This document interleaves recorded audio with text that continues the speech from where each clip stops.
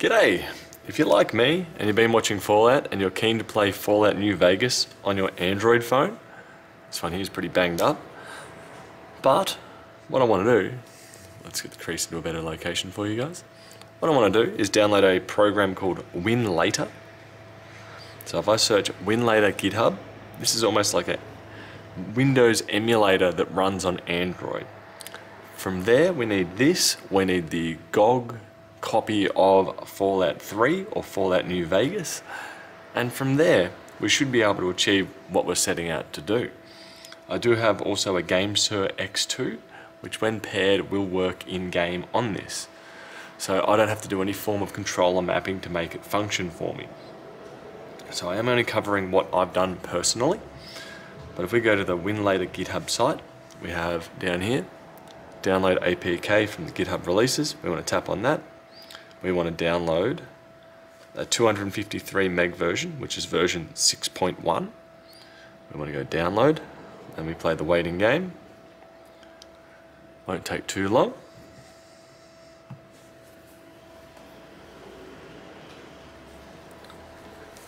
Now do take do note I have already got the installation files copied onto my phone. Funnily enough I've got the Steam version of it and I could not figure out how to get it on there. So it was just easier for me just to purchase the GOG version which I know most people usually recommend works and works just fine. So now that downloaded, I want to run it. It's going to complain that I need to allow permissions, which I'm going to allow it. And I'm going to install. Oh, we were blocked. Install product anyway. Done. I'm going to go allow. Now it's installing its installation files. If I turn the brightness up, that may help. There we go. Do you have a bit of banding I can see on my camera. Please try to ignore that. Sorry about your eyes. Now the reason why I'm installing it on a Z Fold 4 that's broken is I have current oh Z Fold 3 that's broken is I've got a Z Fold 2 which has a Snapdragon 865 in it and it plays between playing Fallout New Vegas between uh, 60 or 30 to 60 FPS depending on where I am, potentially as low as 20. So it's playable, but I'm also curious to see how well this will run it in comparison. Once we've done this, I just need to remember what I needed to do. We go, I'll go to container, and I'll call it Fallout. I'm going to change the resolution to something a bit larger. When I was playing it the other night, I was going 1280 by 800. And if I go tick the box from there, we'll go creating container. I want to tap on it and go run. From here, it's going to load up what seems like almost a Windows installation. We'll have to give it some time. It will, it will vary depending on what kind of mobile device that you have. Also, one thing that I have forgotten about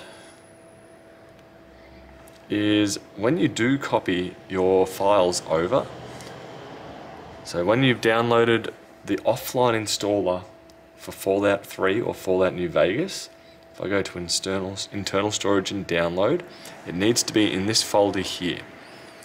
As you can see, we have a few different files.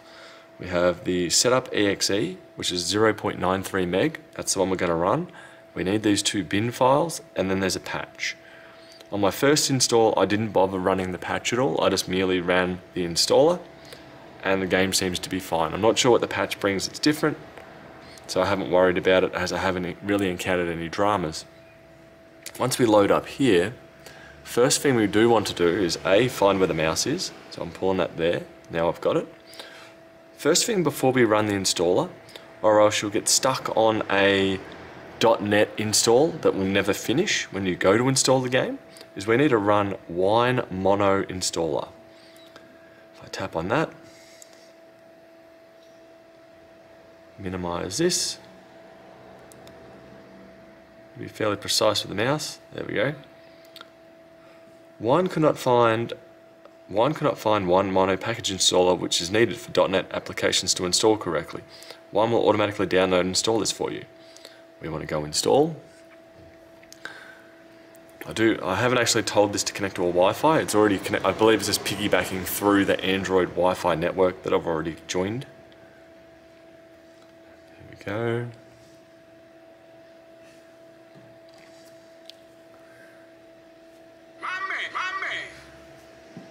Now, I'm not sure how long this may take for you, as this is now, this particular one is, the Z Fold 3 is running a Snapdragon 888, which is a bit more powerful than the 856. Not sure how much, that's why I'm purely doing this experiment to find out. But I thought I'd bring you guys along for the journey.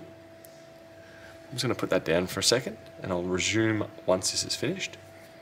What does I see actually? What's this one here? Oops, sorry, got you out of frame.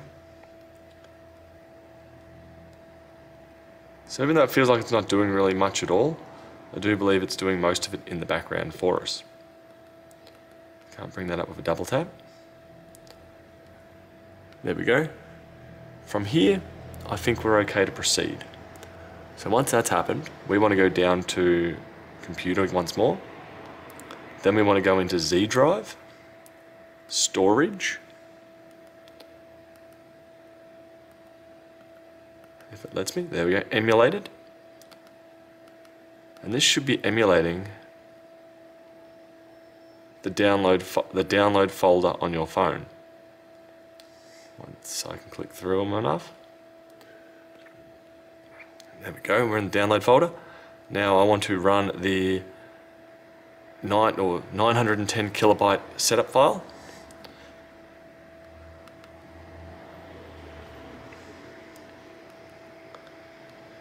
Let me. There we go. I may have double tapped, triple tapped. I've got two setups. No. Setup OK. There we go. We're about to start the installer for the Fallout Ultimate Edition. Yes. I don't believe in options there's really much we can do. Unless you want to change where it's installed. There we go. And now I'm just going to run the installer zoom you guys in. I will probably fast forward the vast majority of this installation process and then we'll proceed to the next stage from there. We will have the bar progressing along here. Eventually it will say it's installing .NET and it will also say installing DirectX 9C. It may come up with an error along that way, but we should be able to continue and proceed to install the game from there. Eventually it should finish and we should get an install icon up here for the Fallout game.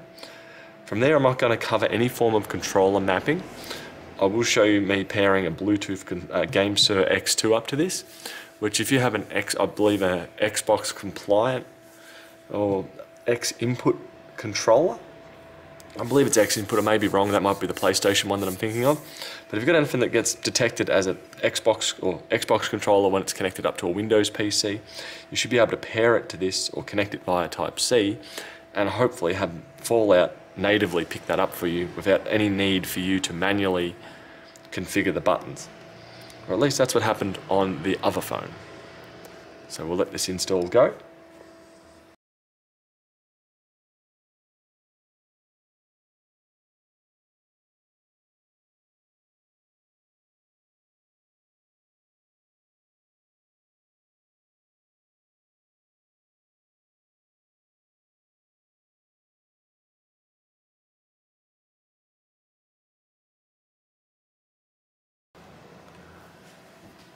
So the last section took about eight minutes and now we're up to in installing .NET 4 as you can see here.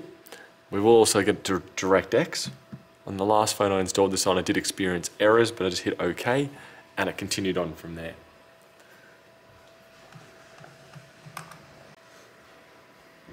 Okay, we're now up to Visual C++ Redistribution 2012.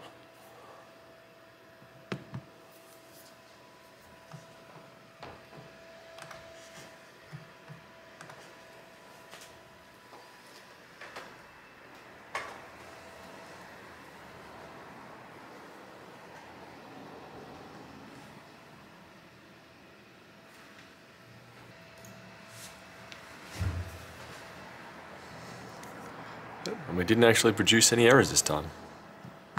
Brilliant. So what I want to do now is quit out of Winlator. I'm just going to close it. and I want to turn my GameSir X2 on and go into Bluetooth. Bingo, so now this is all happily paired up. I want to load up Winlator once more. Now, I should be able to verify that it's talking to it. If I go here, I've got external controllers, GameSir keyboard. I'm going to leave all that exactly as it is, as I don't need to worry about it pretty much at all. If I go shortcuts, I've now got the Fallout New Vegas shortcut. Now, it may crack it with me just because I'm loading it up for the first time now. But we'll see where we get to. go. Fallout New Vegas will detect your video settings. Set to high. I don't want to have it on high. I want to have it on low. I'm going to leave VSync enabled as well. It does think it's emulating a 9800 GT. So I'm going to have VSync on, low, then I'm going to go OK, then I'll simply go play. From here I'll move the mouse out of the way, we should go full screen. And from there I should be able to use the GameSir X2 for the game. Turn the audio up a little bit. press start over here. I should be able to skip menus. Uh, maybe not yet. Now this will chew through battery life quite, quite heavily. So do be aware that your phone will drain battery quite, yeah, quite a bit. As you can see, working as exactly as it should. Now we'll have to go new game.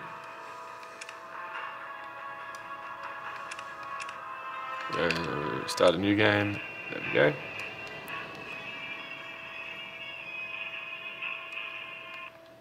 Skip that.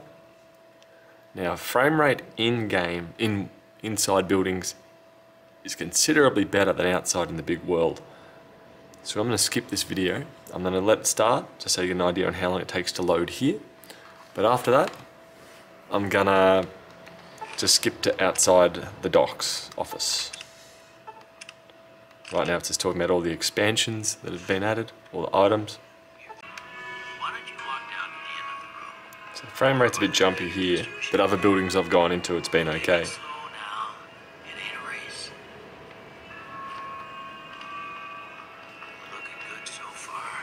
The right button. This will give you an idea of the loading times between rooms from inside, going from inside to outside. The phone, back of the phone is starting to get a bit warm to the touch. It's not exactly burning, but I'd say it is definitely processing, that's for sure.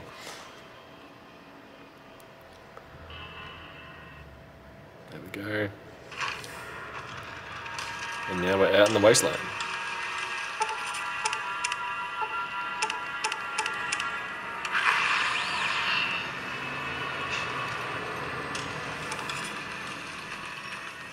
So as I said, the frame rate's not exactly great outside. I think you'd be quite heavily relying on VATS, or you'd be further tweaking the game to make it a bit more smoother.